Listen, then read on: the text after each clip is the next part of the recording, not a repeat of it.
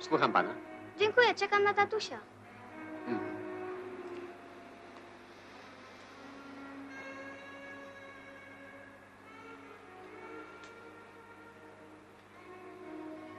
Semillon vin blanc, superieur, gautier freres. Tak jest. Tak jest. I coś Słucham do pana. picia. Proszę, służę uprzejmie. Słucham panią. Proszę pana, czy mówi mi pan coś dobrego? Proszę pani, jest świetny besztyczek tatarski. Jakąś zupkę? Nie, nie, dziękuję bardzo. Proszę dziękuję. łaskawie wybrać. Zaraz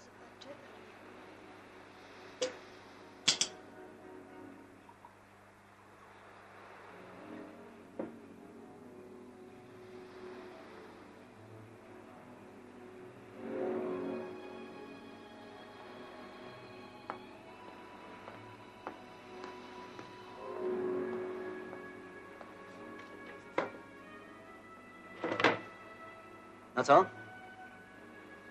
Zamknięcie sezonu. Zjemy coś dobrego. Zakąski. Zupy? Ja nie będę jadł ani zakąsek. A co myślisz o kaczce? Wódeczka? Piwko. Z kaczuszki. Nóżka czy pierś? Co panowie zadysponują? Ja wolę nogę. To dla mnie to drugie. Deser obmyślimy.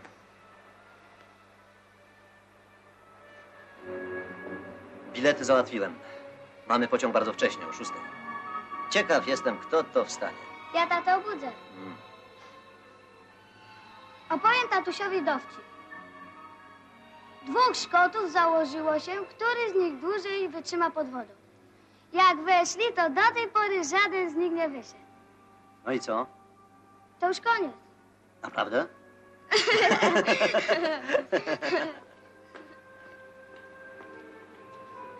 Przepraszam. Służę.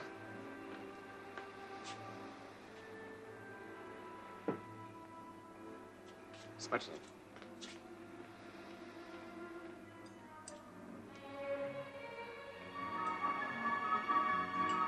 Pokroić ci? Nie, dziękuję. Weź rękę. Drób można. Ja też bym to zrobił, Tylko jestem w nieco innej sytuacji. Ta pani, która się do nas tak ładnie uśmiechnęła, byłaby trochę zdziwiona. Podoba ci się? Taka sobie.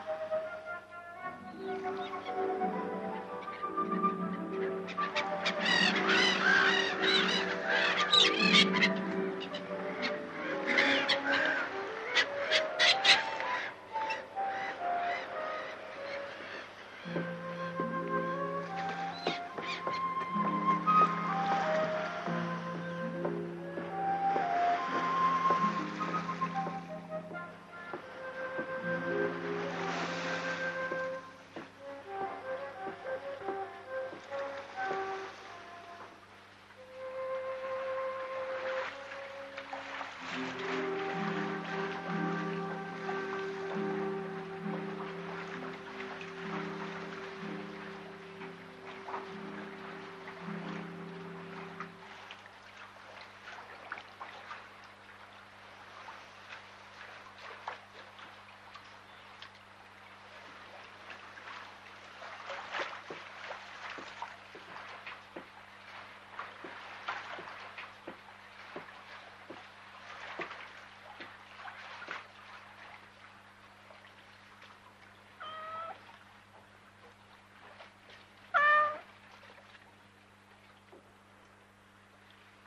tam ma?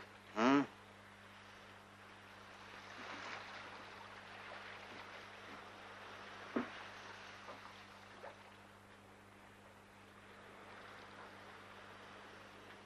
Trzeba duży kamień uwiązać i wrzucić go do wody. Papierosów nie masz? Ja nie palę. Ej, to źle, że nie palisz. Nic z ciebie nie wyrośnie. Dlaczego? A chcesz go od śmierci wybawić, to kup. Ja nie mam pieniędzy. A nie kłamiesz, co? Ile pan chce? Dwadzieścia złotych. Tyle nie mam. Aj to tanio. Pieniądze na wartości tracą, a, a kod nigdy. No i poszukaj tylko dobrze i... No. I Osiem złotych. osiem. No, to daj te osiem. O, i ten ołóweczek. Oj, trzeba wielki kamień uwiązać.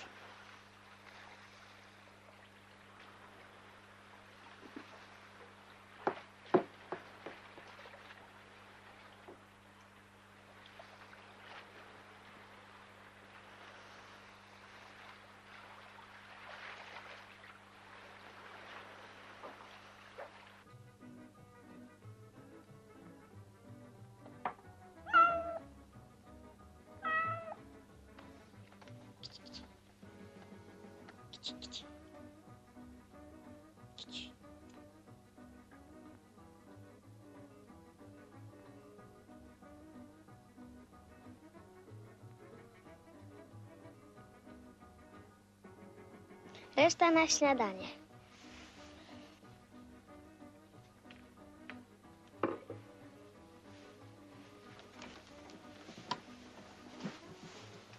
Romek, tego kotka to musimy tu zostawić.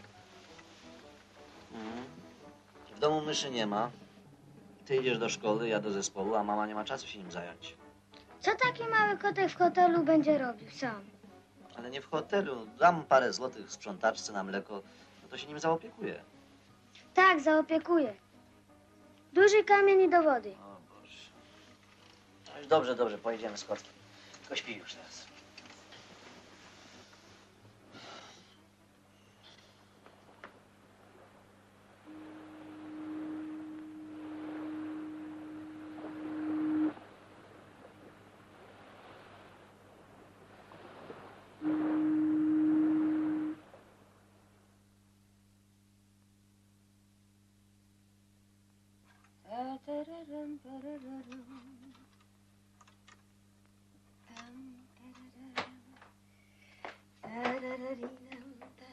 Kto tam?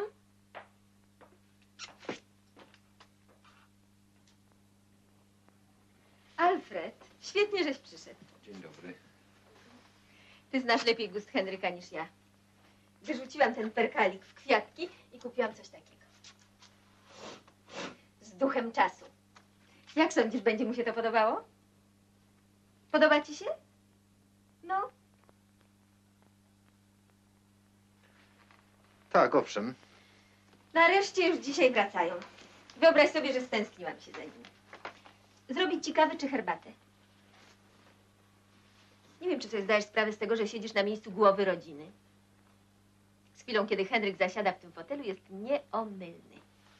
W ogóle nie słuchasz tego, co do ciebie mówię. Napijesz się kawy? Ja, Lucynko, już pójdę. Oj, usiądź i powiedz, z czym do mnie przyszedłeś. A możeś ty się w ogóle zakochał? Zaczynam cię podejrzewać o jakieś romantyczne historie.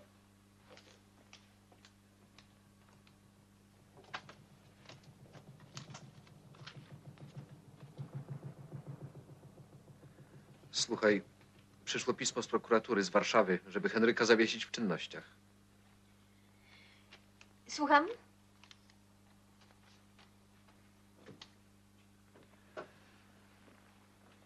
Henryk jest podejrzany o współpracę. Henryk... Henryk wróci dziś wieczorem, to się rozmówicie. Lucyno, ty nie rozumiesz, co ja mówię. Henryk jest podejrzany o współpracę z gestapo.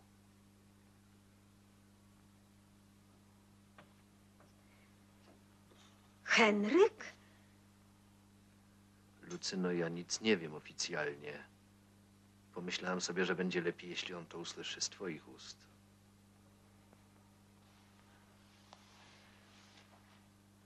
To jest prowokacja. To jest na pewno niemożliwe.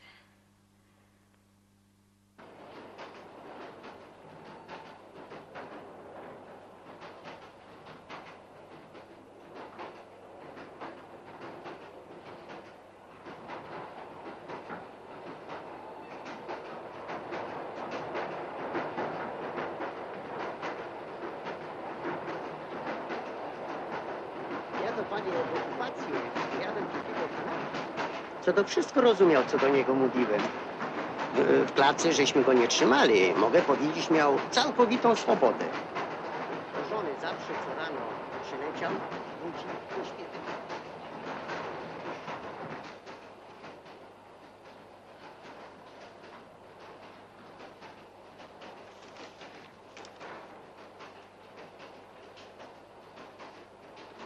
Mówić tylko prawdę.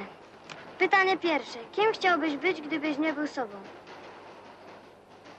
Najlepiej być sobą. Co najbardziej cenisz u kobiety? Kobiecość. Ja nie wiem. W jakim kraju chciałbyś żyć, gdybyś nie żył w Polsce? Nie wyobrażam sobie życia w innym kraju. Ja w Islandii. Czym się najbardziej brzydzisz?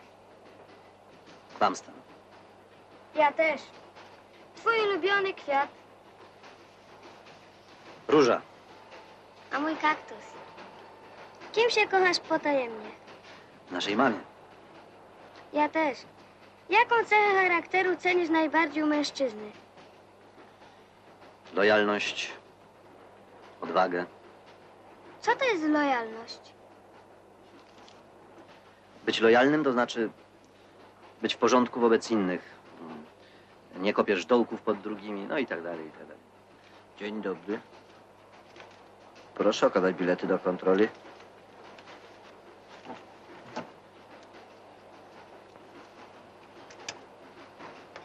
O której będziemy na miejscu? W tej chwili panu powiem.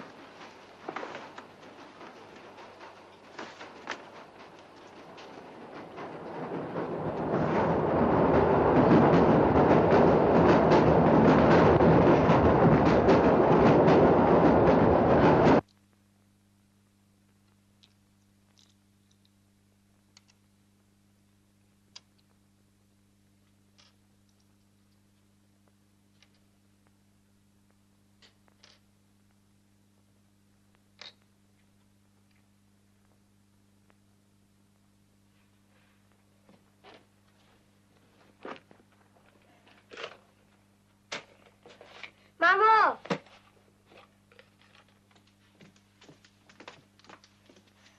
To jest wszystko dla ciebie. Co ty mówisz? A to są prawdziwe bursztyny. Tylko tak wyglądają jak kamyczki.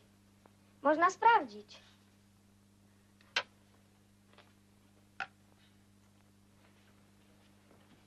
Podoba ci się? Bardzo. Może stać u mnie albo ojca, ale to jest twój. Kupiłem ci też kotka, aleśmy go zostawili. Ale ludzie się nim opiekują. Wyrosłeś, opaliłeś się. Przybyło mi 3 kilo. Wszystko poszło w muskuły. Zjedz jabłko.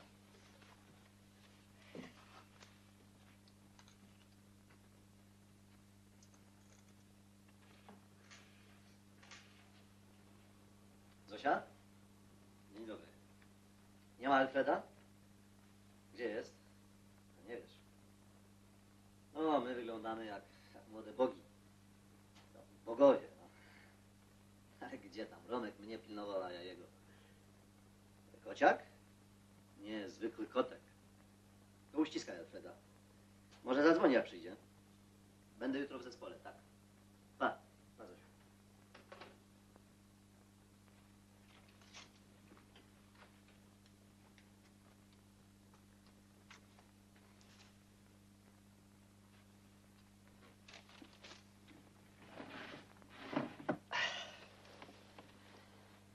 Taki właśnie powinien być fotel. Człowiek w takim fotelu wygląda jednak zupełnie inaczej niż na przykład człowiek siedzący na podłodze. A jak wygląda człowiek siedzący na tapczanie?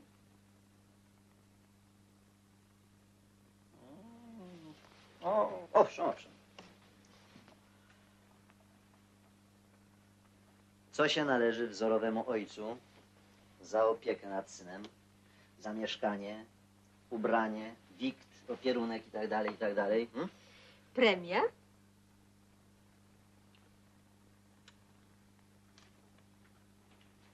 Powiem tacie dowcip. Ten o szkotach? Nie, drugi. Kto to jest? Murzynek, który zjadł mamę i tatę. Ludożerca. Sierota. Niezle. To ma dalszy ciąg. Kto to jest? Murzynek, który zjadł mamę, tatę, babcię i dziadka. Oj, oj, no. Łakomczuch. Ho, ho, ho. O, czerninka, to coś dla mnie. To lubię, rzekłem to lubię. Dziękuję.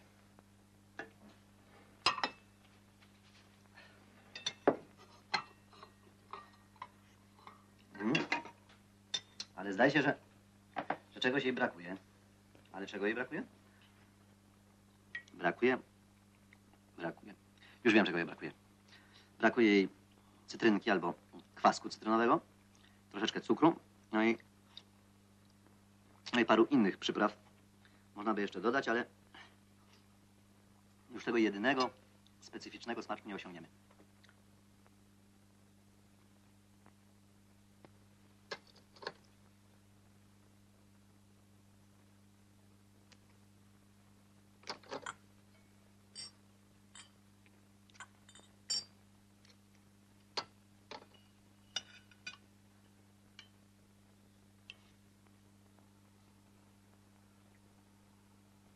No nie, no. No to nie jest powód do zmartwienia. Ona się naprawdę przejęła moją gadaniną. Kochanie, przysięgam ci, że przez wszystkie lata naszego małżeństwa nie jadłem pyszniejszej zupy. Jeżeli się natychmiast nie rozchmurzysz, zjem wszystką czerninę, jaka tutaj jest na stole. No?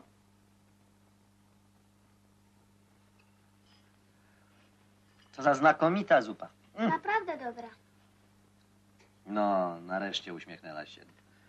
Czy mogę wobec tego nie zjeść tej najlepszej zup? Instynkt mówi mi, że na drugie będzie coś specjalnego. Zdaje się, że mama przygotowała jakąś niespodziankę.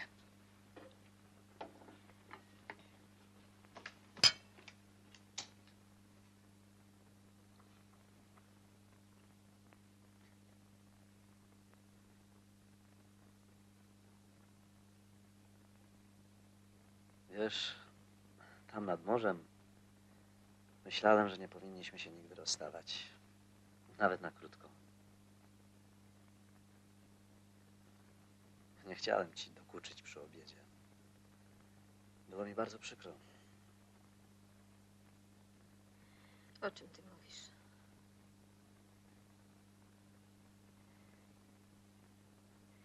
Alfred powiedział mi, że jesteś podejrzany o współpracę z Gestapo. Co? Co? Czy to prawda? Co ty chcesz ode mnie?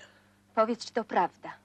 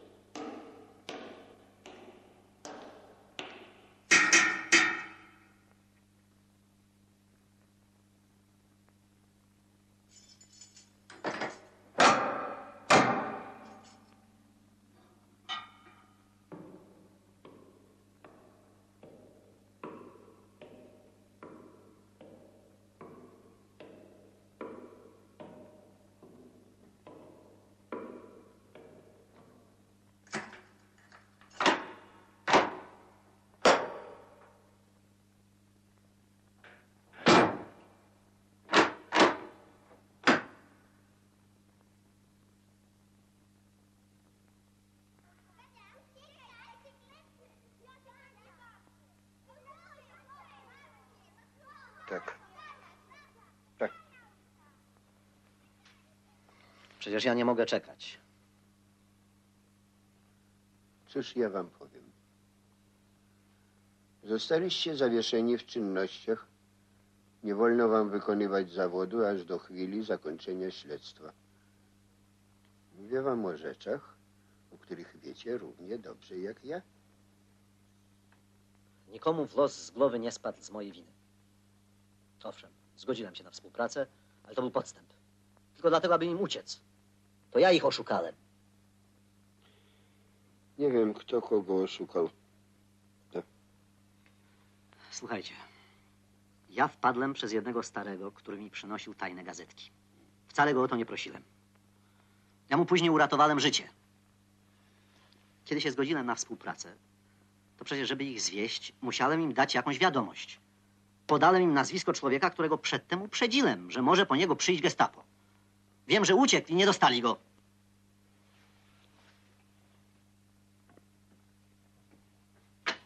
A co miałem robić? Miałem 20 lat. Miałem dziewczynę, byłem zakochany. Jestem przekonany, że miałem rację tak postępując. Podejdźmy do tej sprawy obiektywnie. Uratował się młody chłopak, z którego świat i ludzie mają pożytek. O jedną niepotrzebną śmierć mniej. To nie było takie proste. Gestapo to nie była dziecinna organizacja.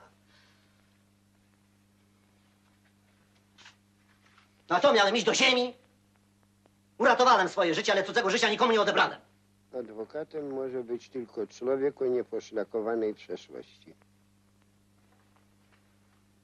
Niechżeż pan mnie zrozumie. To ja ich oszukałem. Puściłem gestapo na fałszywy trop. Mogłem się bronić tylko podstępem. Ratowałem życie. No jeżeli się można było uratować... Ciszej. A co ja mam teraz robić? Pan sobie pójdzie na obiad, na brydża, a ja mam zabić żonę i dziecko. Powiesić się! I pan dzisiaj zje obiad.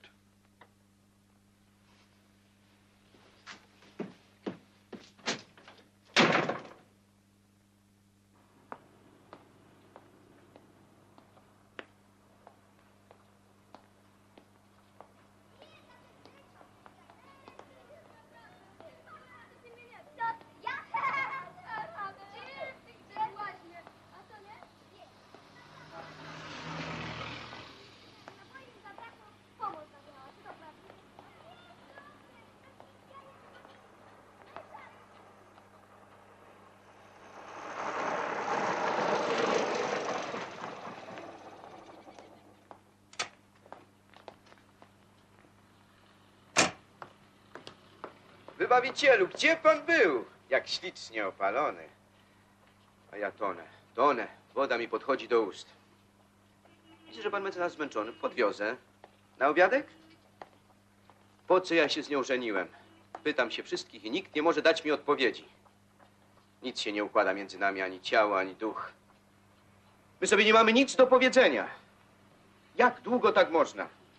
Musi pan sobie znaleźć innego adwokata. Dlaczego? Ja wyjeżdżam. Panie mecenasie, o co chodzi? Przecież pieniądze nie grają roli. Do widzenia.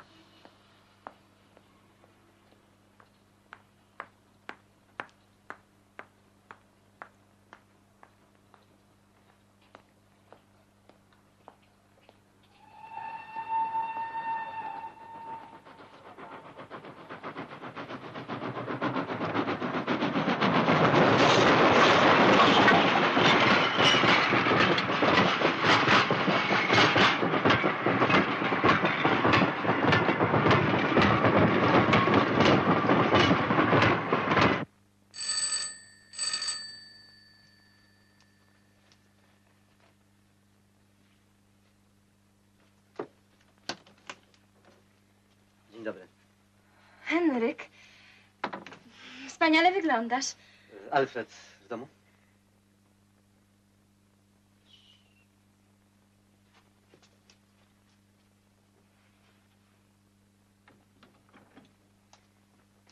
Mów ciszej. Mama przed chwilą zasnęła, całą noc bolała ją głowa. Jest Alfred? Wyszedł, nie wiem dokąd. Umówiliśmy się. Przepraszam cię na chwilę. Muszę zajrzeć do mamy, zdaje się, że wołała.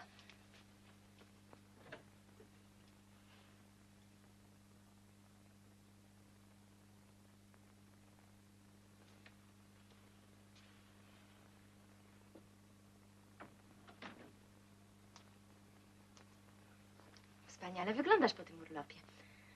Jakbyś wyszczuplał. Pić mi się chce. O, przepraszam bardzo, zupełnie zapomniałam. Opowiadam o głupstwach, a tobie się pić chce. Czego się napijesz? Szklankę wody. Może sodową. Dobrze, sodową.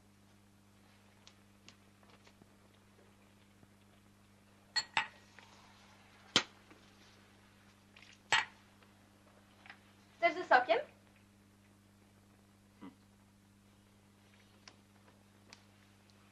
A co chciałeś od Alfreda? Nic ważnego. Powiedz, powtórzę mu. Nie wiadomo, kiedy wróci. Dlaczego nie pijesz? A jak się czuje Lucynka?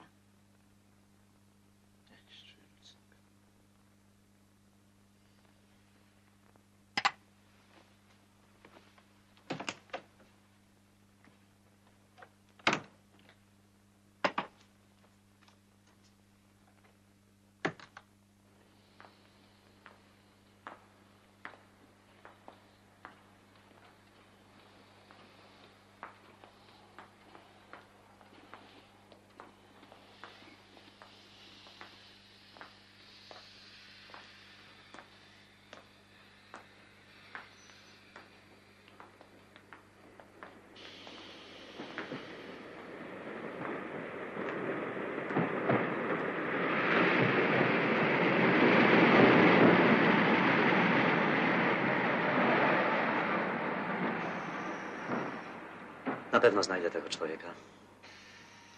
Minęło 20 lat, ale ja go poznam. Uprzedziłeś go o przyjeździe? Nie.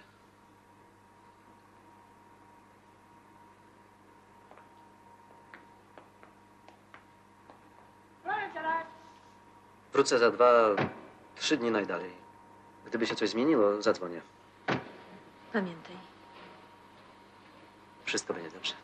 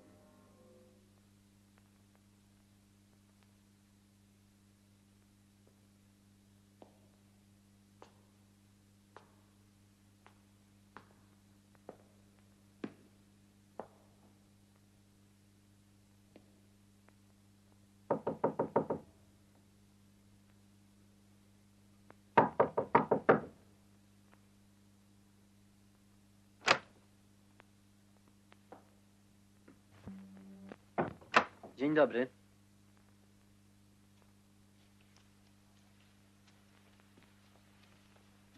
Czy tu mieszka pan Górka?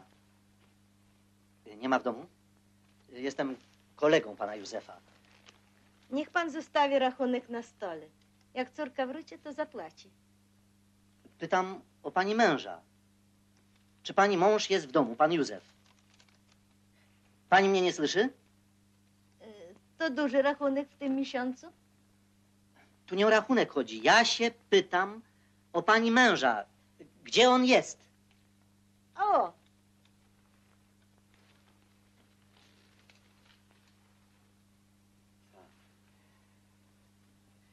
Chciałbym się z nim zobaczyć.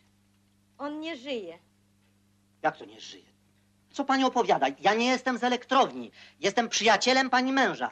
Uratowałem mu życie. Ale on umarł.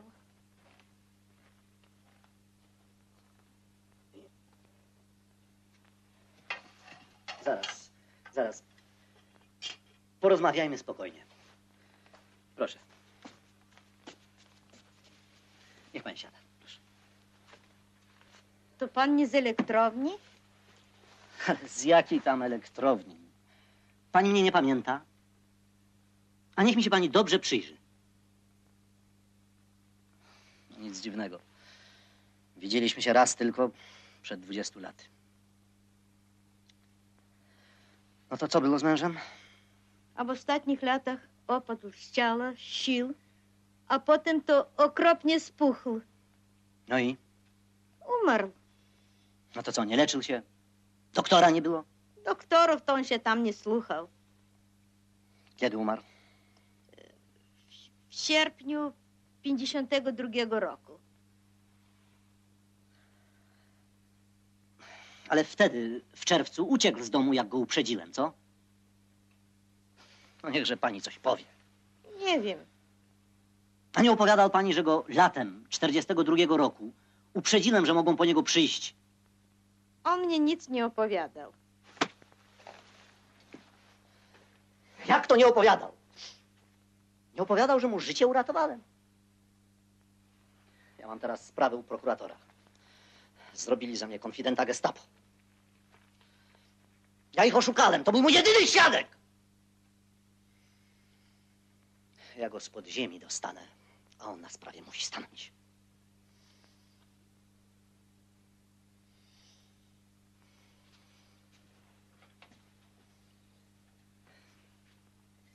Ale jakieś listy?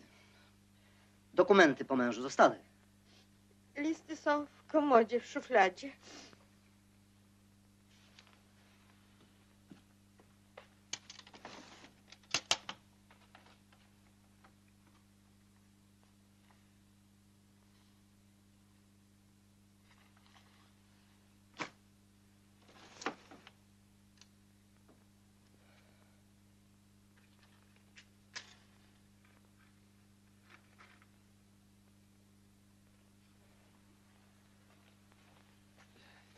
Niech pani posłucha.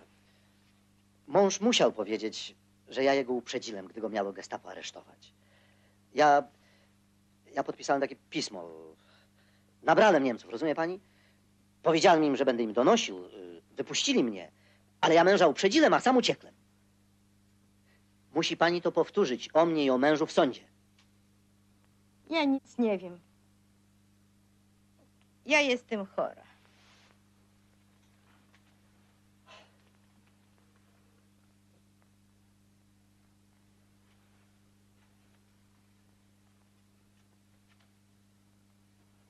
Proszę pani. Chodzi o to, aby pani w sądzie jako świadek złożyła zeznanie. To, co pani mąż opowiadał o mnie, jak mu życie uratowałem. No bo przecież musiał opowiadać, prawda? No więc na pytanie odpowie pani, że w czerwcu 1942 roku uprzedzony został, to znaczy mąż pani Józef, przeze mnie że ma po niego przyjść niemiecka policja, gestapo. No i gestapo przyszło, jak pani wie. Tak, przyszło. I męża nie było. Nie było. A widzi pani. Czyli uprzedzony przeze mnie uciekł z domu i uratował swoje życie. Ja pani chcę tylko przypomnieć. No niech pani teraz powtórzy.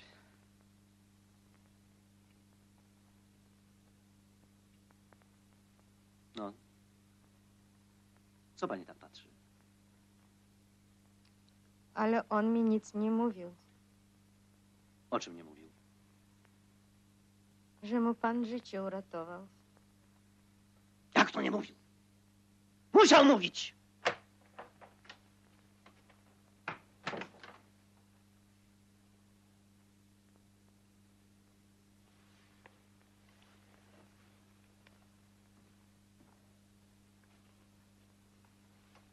Do widzenia pani. Zaraz, chwileczkę, proszę pana. Kto pan jest? Krysiu, ten pan to kolega ojca z okupacji. Pan był przyjacielem ojca? Nie byłem przyjacielem. Los nas zetknął po prostu, to wszystko. Do widzenia. Ale proszę pana,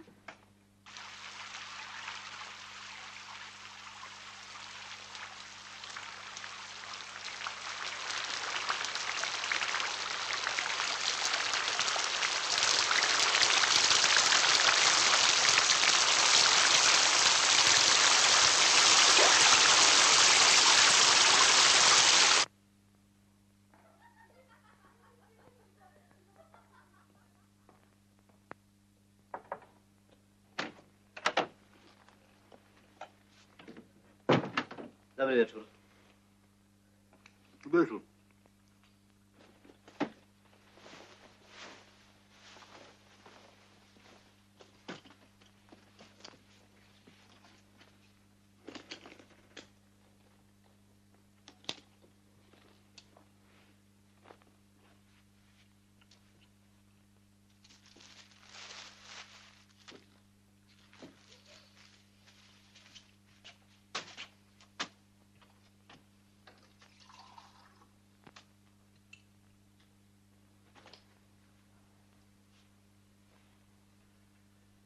Gorąco dziś, duszno. Może by otworzyć okno, co? Można.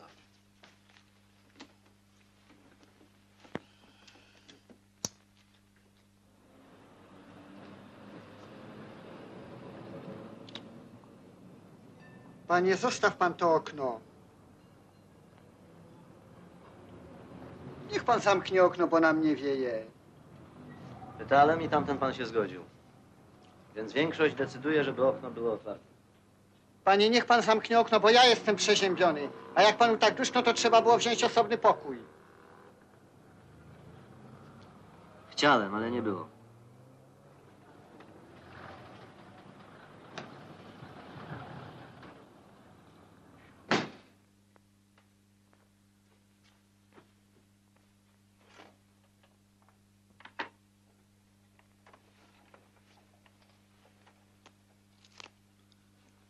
O okno ludzie historię robią. Pa. Pozwól pan, Kasperski. A ja nie takie rzeczy mam na głowie. Jak kto nie ma innych zmartwień, to będzie panu historię z oknem robił. Ja tu przyjechałem, wie pan, z taką sprawą, że tylko płakać. Nie palę, wolę coś słodkiego. O, tu cała ta sprawa, cała ta ludzka dola. Jak mi w ministerstwie pieczątki nie przyłożą, to nie wracam do zakładu. Pan, ludzi mam niezwyczajnych. Kierownikiem jestem. Ale jakim tam kierownikiem? W spółdzielni inwalidów. W spółdzielni, gdzie różni inwalidzi są zatrudnieni. Niewidomi, kalecy, inni. Wie pan, to, to nie jest zwyczajny zakład, gdzie zdrowi ludzie pracują. Inwalidzi to ludzie nerwowi, poszkodowani. No im się należy. Jak mi pieczątki nie przystawią, to nie wracam. Stanę przed nimi i co im powiem? Że surowca nie ma, a oni zarobić muszą.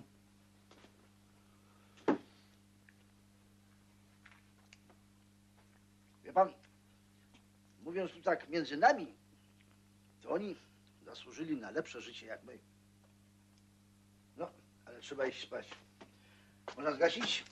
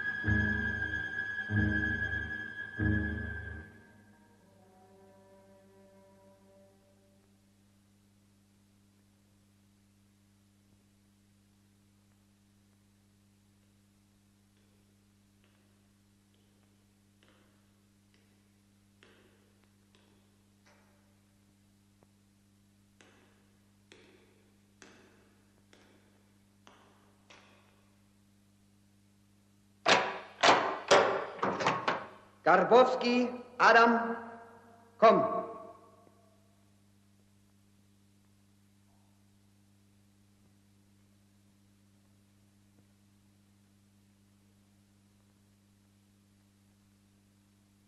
Sowinski Zbigniew.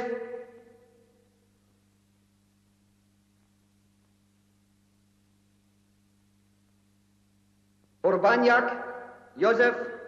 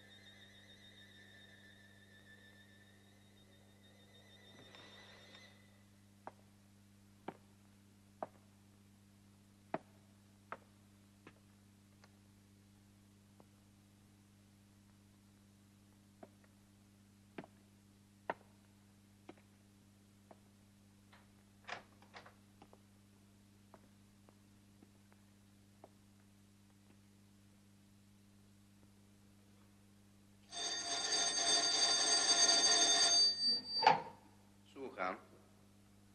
Tak. Proszę. Lucynko, czy to ty? Dobry wieczór. A co masz taki zachrypnięty głos? Obudziłem cię, strasznie cię przepraszam. U mnie w porządku. Zatrzymałem się w Polonii, naprzeciwko dworca. Nie, jutro nie wrócę. Jakieś dwa, trzy dni. Tak, załatwiłem, w porządku. Był ktoś u nas? Nie. Śpicie spokojnie. Ucałuj Romka.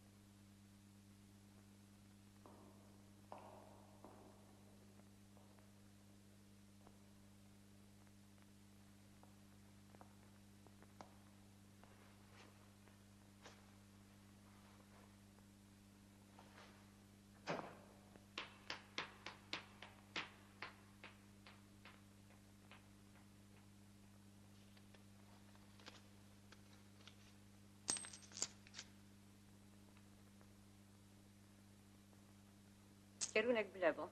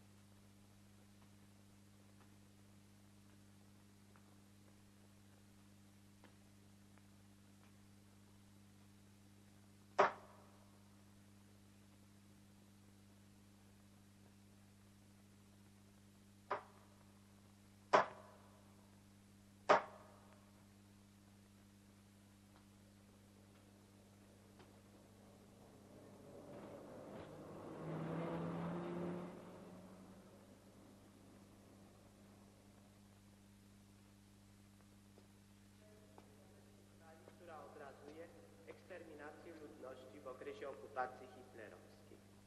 W gablotach oraz na planszach znajdują się dokumenty i zdjęcia mówiące o zbrodniach, jakie popełnili hitlerowcy na naszej ziemi. W gablotach znajdują się również pamiątki po zamordowanych więźniach oraz narzędzia tortur, którymi posługiwali się oprawcy z obozów zagłady. Proszę, przejdziemy teraz do następnej sali, która obrazuje walkę narodu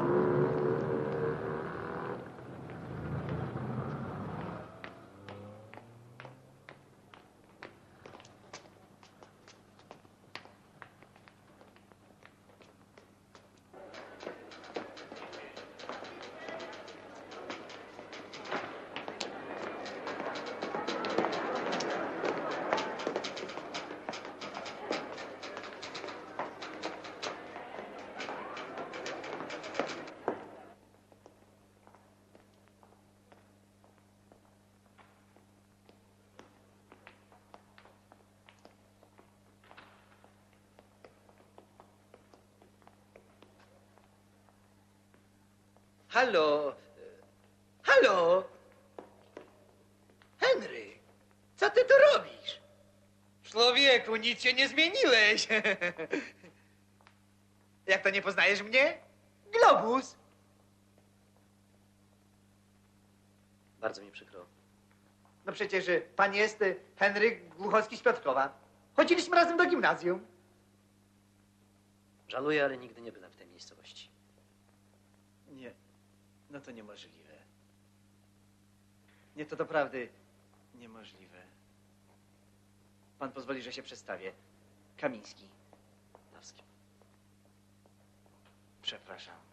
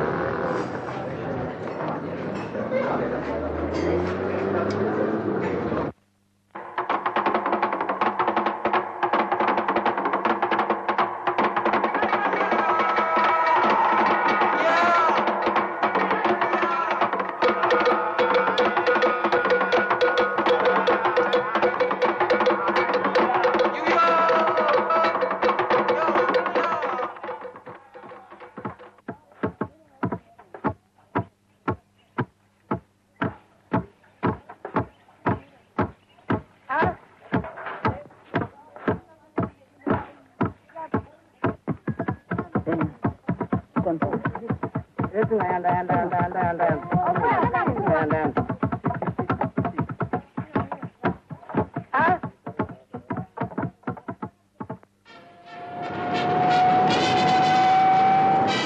rakiet kosmicznych obiegających Ziemię w półtorej godziny.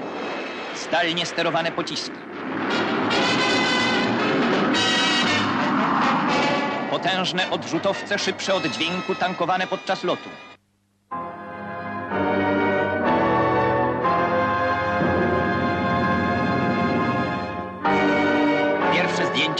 Skopje zrobione w kilka godzin po straszliwym trzęsieniu ziemi. Stolica Macedonii liczyła 200 tysięcy mieszkańców.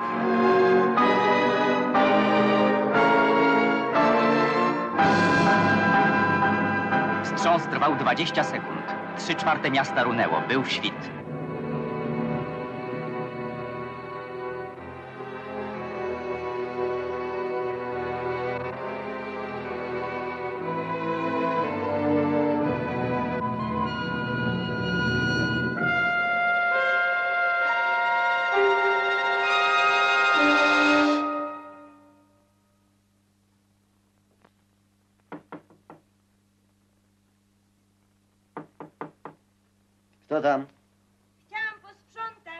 Jestem zajęty, proszę później przyjść.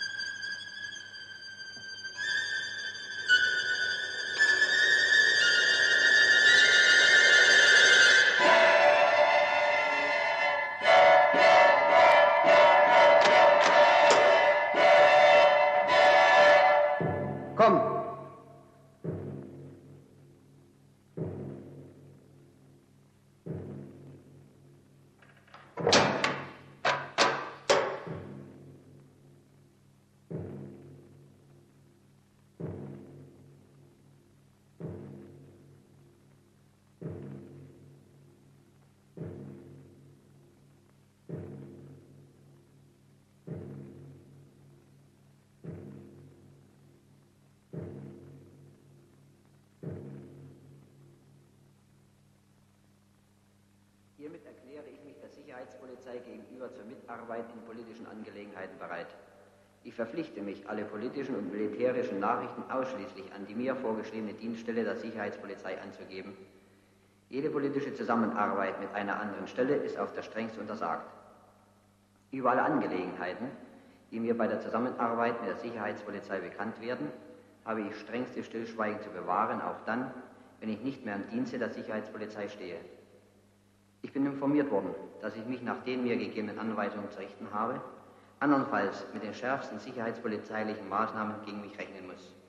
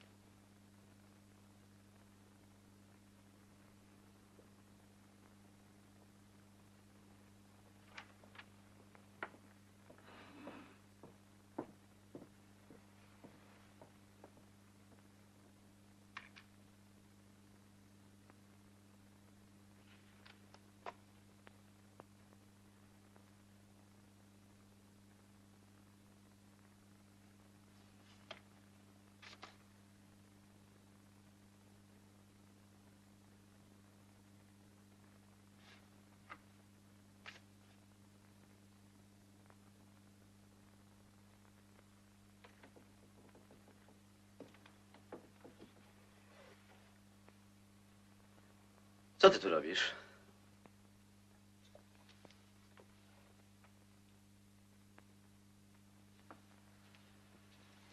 Przyjechałam do ciebie. Okropną miałam podróż, dwie przesiadki. Proszę, siadaj. Myślałam, że już nigdy nie dojadę.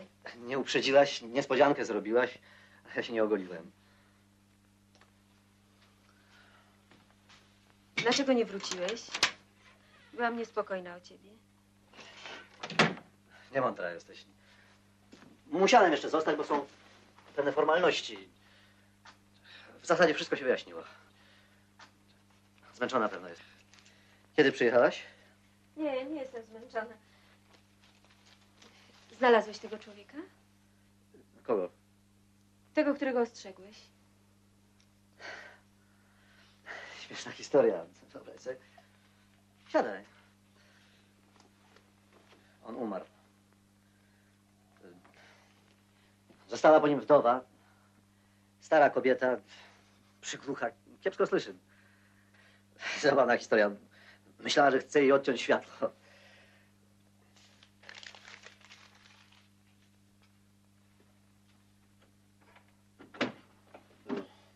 Wiesz, on umarł zaraz po wojnie.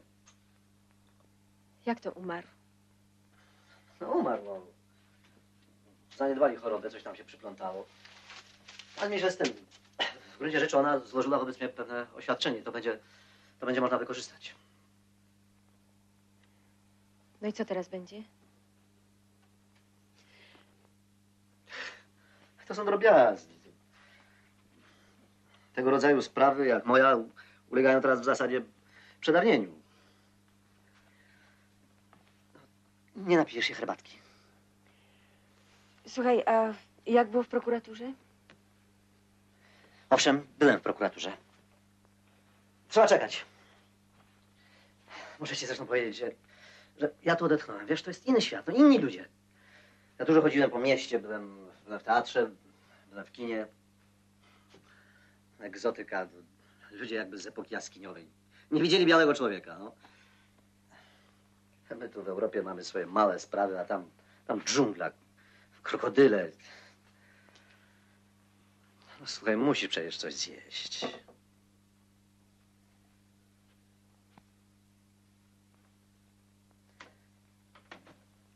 Powiem ci, na czym ten cały problem polega. Zmiana perspektywy. To ilu może liczyć y, mieszkańców nasza mieścina? 30 tysięcy. Delikatesy, jedno kino, dwa kościoły. Wszyscy się znają. A tu świat żyje swoimi problemami. Tu wystrzeli na przykład rakietę w kierunku Marsa. Trzęsienia ziemi, powodzie, katastrofy lotnicze. Całe miasto wali się w ciągu 10 sekund.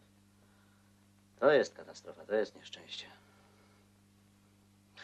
Tylko my się własnymi rękami grzebiemy. Znajomi i przyjaciele po prostu z nudów no, pchają nas w przepaść.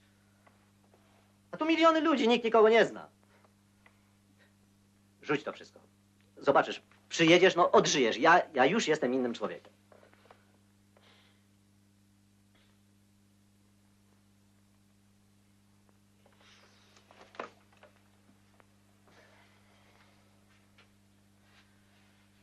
To Romek sam został w domu? Kazał cię ucałować.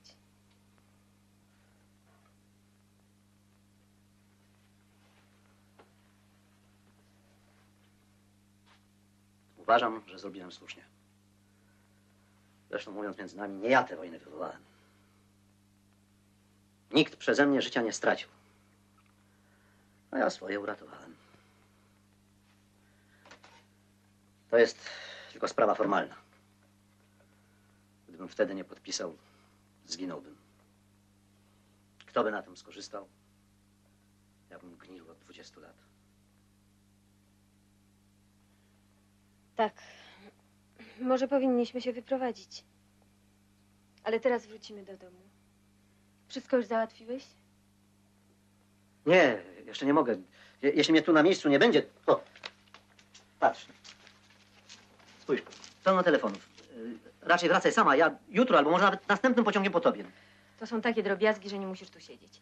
Zresztą jest poczta, telefon. Jeśli sprawy tego będą wymagały, wrócisz tu jeszcze raz. Nie chcę siedzieć sama w pustym mieszkaniu.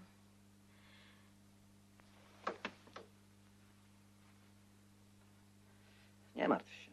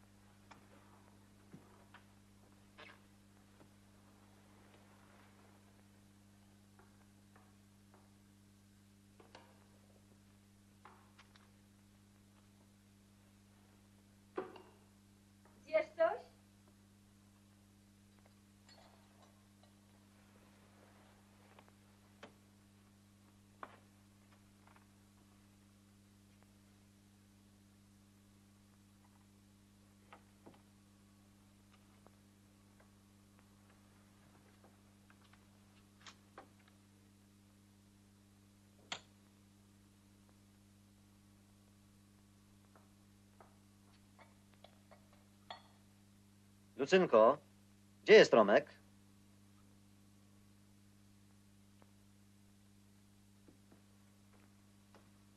Gdzie jest Romek?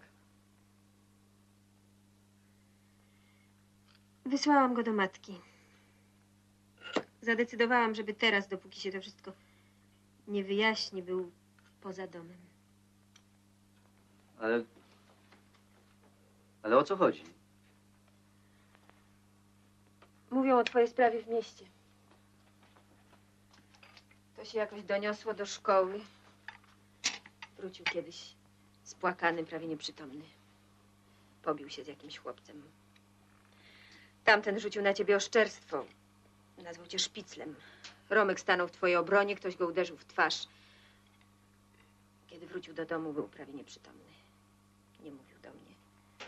W nocy usłyszałam, że płacze. Uderzył go w twarz? Jak to plakał? Sam leżał w pokoju i plakał? Bez porozumienia ze mną nie wolno ci go było z domu wysyłać. Ja odpowiadam za wychowanie mojego dziecka. Ja. Jak to? Ja mam oddać mojego syna? A z czym ja zostanę? Z tymi meblami? Tą kupą idiotów w tym miasteczku? Z książeczką oszczędnościową? Niech się to wszystko zawali. Ja nie pozwolę sobie syna odebrać.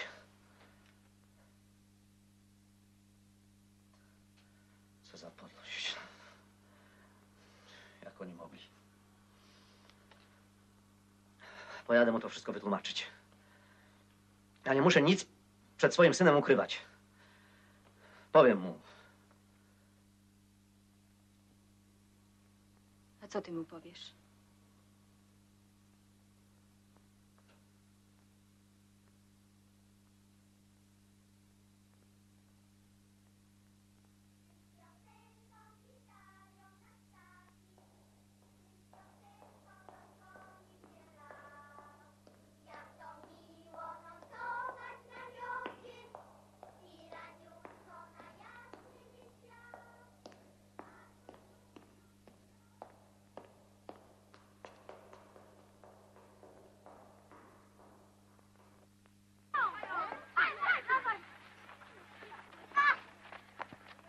Przepraszam pana.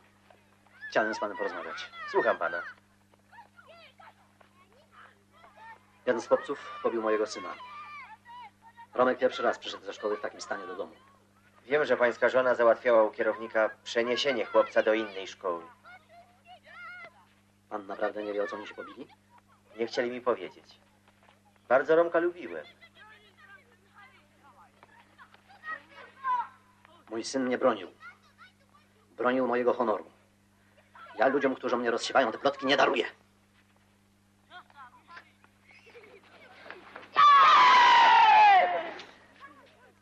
Żona odebrała syna bez porozumienia ze mną. Ja będę się starał, żeby on do szkoły wrócił.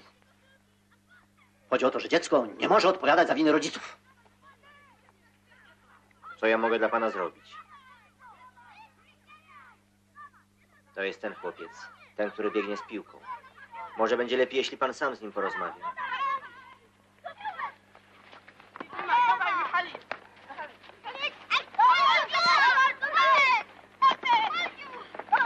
Podaj, podaj! Szybciej!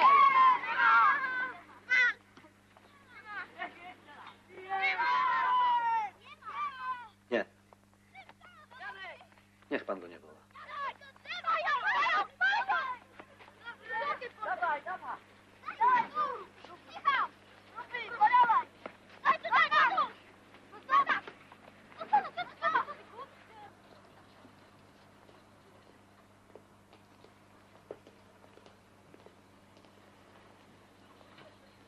No dobrze, ale przecież ta wdowa może złożyć zeznanie. To chora osoba. Ludzi nie poznaje. Nigdy o tym z mężem nie rozmawiała. Umarł, nic jej nie powiedział, że mu uratowałem życie.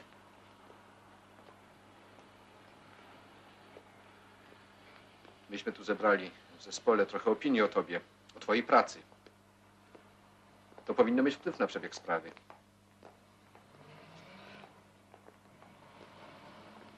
Nie mogę sobie z tym dać rady.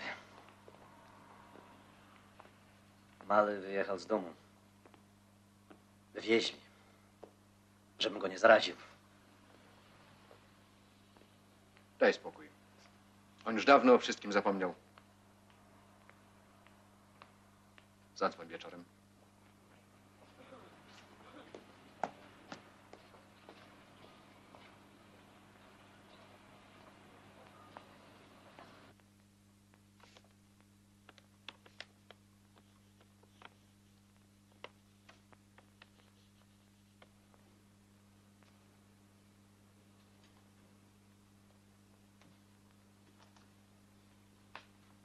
Luzynko, a album ze znaczkami zapakowałaś? Zapomniałam. A, widzisz.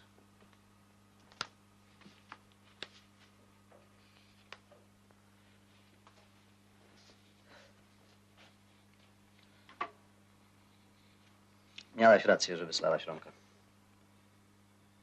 Lepiej, że go nie ma w domu. Dzieci w tym wieku szybko o wszystkim zapominają. Tam sobie znajdzie nowych kolegów. Będzie. A może się wybierzemy do niego? I mama by się ucieszyła. Mam trochę różnych spraw. Muszę przypilnować Warszawy. W każdej chwili może być coś nowego. Ale ty jedź. A, nie zapomnij matce powiedzieć, niech on tam się zapisze do jakiegoś koła, do harcerstwa. Niech będzie z kolegami. Ja też przyjadę później. Słuchaj, co ja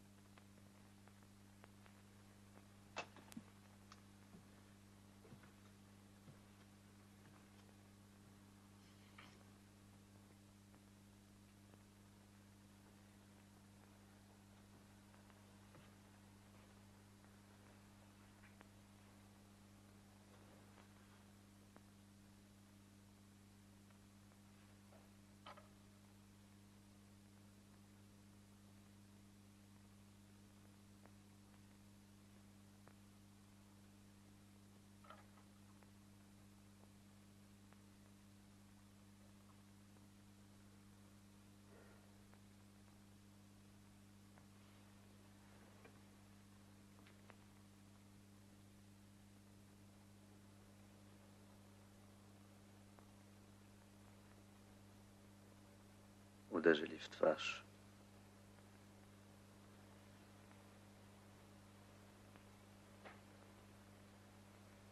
Obrazili, a ja nie mogę cię bronić.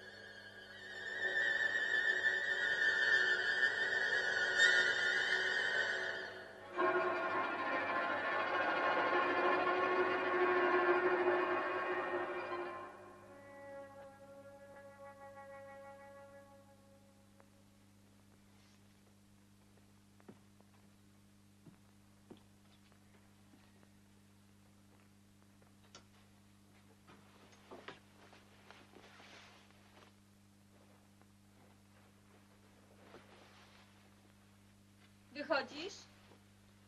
Tak. Idę się przejść. Ale wracaj prędko, bo już późno. Dobrze.